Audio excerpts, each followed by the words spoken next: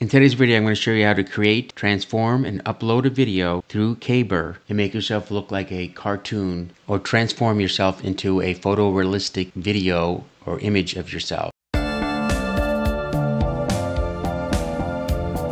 Here I am in Kaiber and as you see I've already made a video. You want to go ahead and click create video and transform an existing video right here in the middle or an image but Today I'll be doing video. Now I'm going to grab the video I created, hit open, there it is. Then we hit continue. And I know I mentioned a photorealistic image or video, but you can actually put in anything you want here to your liking. But I will put in tough guy, continue, and here's a certain styles that you can use from lost, intergalactic, cinematic, concept art. I'm just going to put in photo realistic, continue. You want to go to 10 here, get the best performance, hit generate. And once you uploaded your video, it'll appear in your section here where it says my videos.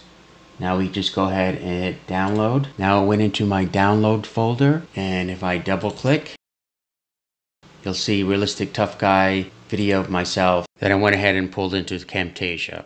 Now we could also add more effects by using DaVinci and I'll go into it right now. I've already pulled down my video down into my timeline. We want to go ahead and click your edit or your cut icon below in DaVinci and here we can pick any effect we want. You go to inspector and then you click on effects and here you can change to any effect you like that is free from binoculars to DSLR, night vision, we can scroll down to some other ones here. Uh, we can change and invert the color. The sky is the limit here.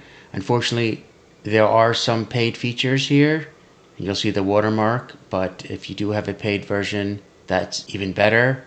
But there are some cool effects that you do here that are free, so not be an issue when you create. That can add great flavor to your video. And once you hit the effect that's desirable, you just pull it down onto the timeline. Thanks for watching, and I'll see you in the next one.